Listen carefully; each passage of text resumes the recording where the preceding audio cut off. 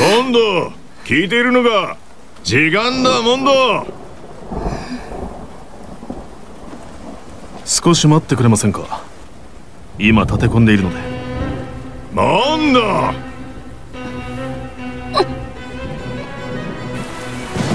続きはこの後にしよう。仕事を終えてから。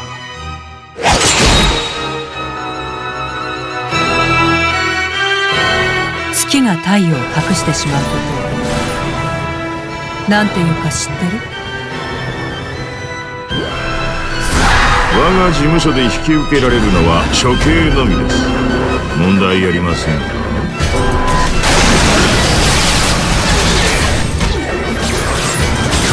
何も分かっていないのですねあなたは。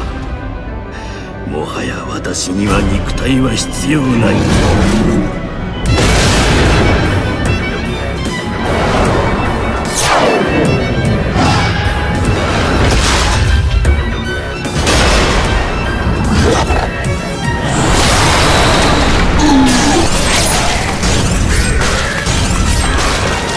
まあいいですけどね。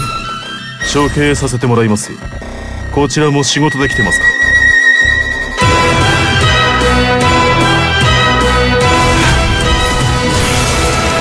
キラーイズデッド。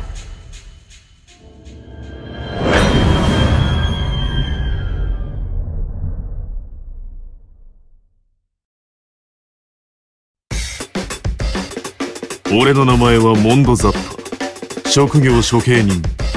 どうやらこのゲームの主人公らしい。